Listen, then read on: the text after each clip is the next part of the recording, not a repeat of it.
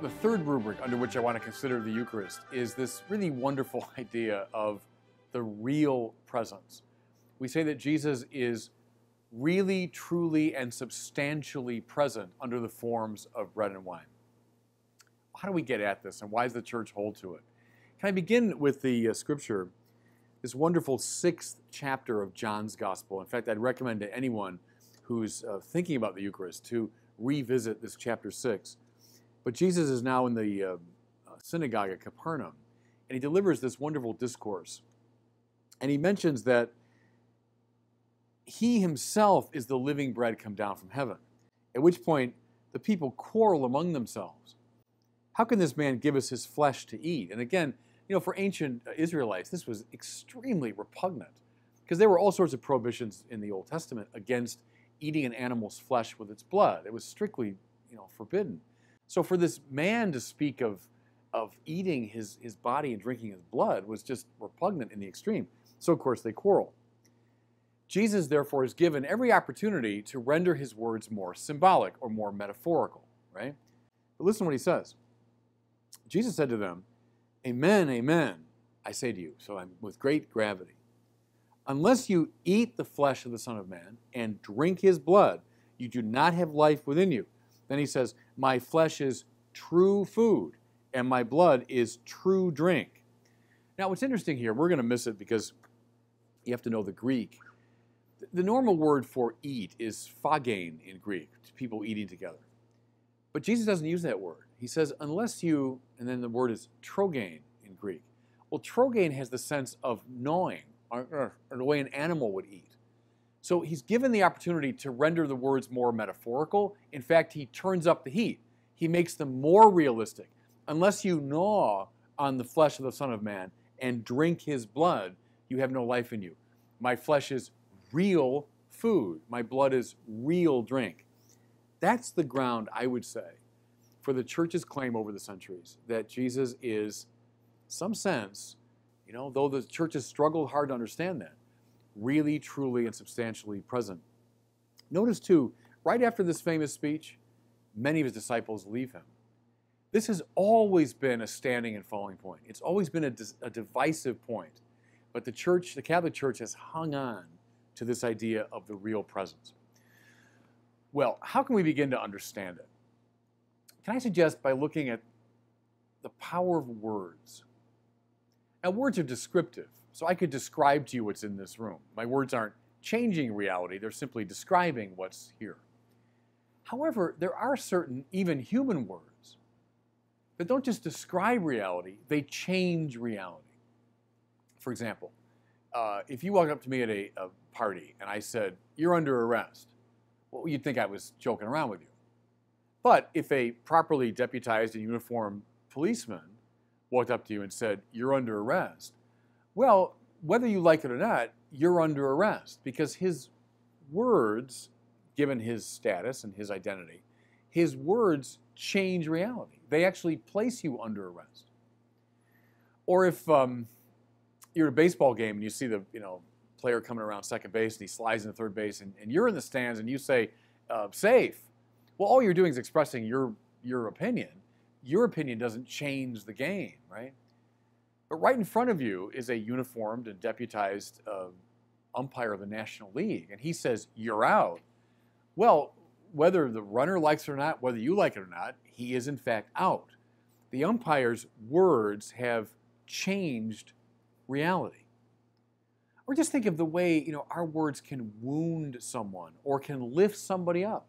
Words that I've said to people, I know, uh, have probably hurt them over many, many years or have lifted them up. Words can change reality, even our puny human words. Now consider the Word of God. So, at the very beginning of the Bible, we hear that God said, Let there be light. And there was light. God said, Let the earth come forth. And it came forth. The idea is that God's Word is not descriptive so much as creative. It doesn't just change reality the way ours can, it constitutes reality in the deepest way. Now, watch that theme throughout the Bible. the book of the prophet Isaiah, we have that wonderful passage, you know, as the rain and snow come down from heaven and don't return without watering the earth. So my word goes forth from me and does not return in vain without effecting what it was sent to accomplish. God's holy word is not just descriptive, it is creative, it is constitutive. Okay. Now, fast forward to Jesus. Like Isaiah, Jeremiah, Ezekiel, one of the prophets, no, no, no, no. Infinitely more than that. Because Jesus is, we say, the Word, that same Word by which God makes the universe, that Word now become flesh. Which is why when Jesus speaks, things change. Little girl, get up. Talitha kumi, it's, it's kept in the Aramaic in the Gospels beautifully. They remembered his words. Talitha kumi, little girl, get up. And she got up. Lazarus, come out. And the dead man came out. My son, your sins are forgiven. And by God, his sins are forgiven. Jesus' word affects reality. Now, at the climax of his life, when he gathers with his disciples for this last great meal, he's God feeding his people. When he gathers and he pronounces the words of sacrifice, my body which will be given for you, my blood poured out for you, he says, This is my body, taking the bread. Over the cup, this is the chalice of my blood just describing something, just engaging in symbolic speech. Not if it's Jesus who's speaking. If the Word of God is the one who's speaking, then what he says is. The bread and wine have become, at their deepest level, something different. They've been changed by the power of the divine Word into the body and blood of Christ. That's why many centuries later, when the Council of Trent describes what's going on, they say the elements change vi verborum, Latin for by the power of the words. The priest at Mass is not speaking his own words. Rather, it's the priest in the vestments of the temple priest, acting and speaking, we say, in persona Christi, in the person of Christ says over the bread, This is my body. Over the chalice, This is my blood. In saying that, Christ, through the ministration of the priest, effects that same change. And he becomes really, truly, and substantially present. Just a last observation.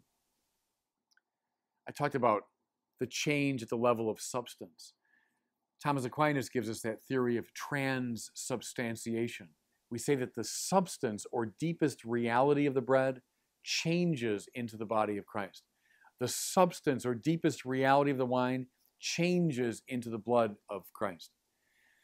This depends upon that distinction between appearance and reality. And you can find that in, in ancient philosophy, modern philosophy, and so on. Very often, appearance and reality come together. Things are as they seem, but not always.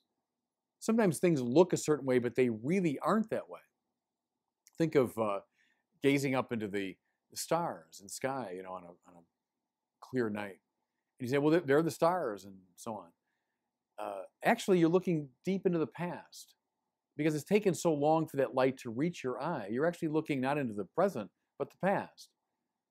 What seems isn't always really the case. Or if you say that, you know, about someone you've just met, boy, that person really seems like a like a jerk. And someone else says, no, I, I know he can seem that way, but he really isn't. Someone that knows him better. Appearance and reality don't always coincide. And so with the Eucharist, we can say indeed, the accidents remain. That means the appearances of bread and wine remain. But yet, through the power of Christ's word, the deepest reality has changed. That's the transubstantiation the church talks about. Just final observation. It was uh, Ludwig Feuerbach, the German philosopher, who said famously, Man is what he eats. Der Mensch ist, was er isst. You are what you eat. That's true, isn't it? I mean, our, our bodies are simply uh, made up of what we've, we've eaten and drunk and so on over the years. Well, the Eucharist, really, truly, and substantially the body and blood of Christ. When we eat the Eucharist, we become what we eat. We become assimilated to Christ, drawn ever deeper into the power of his mystical body. That's why the real presence, insisted upon by Jesus himself, articulated over the centuries by the church, remains of central importance.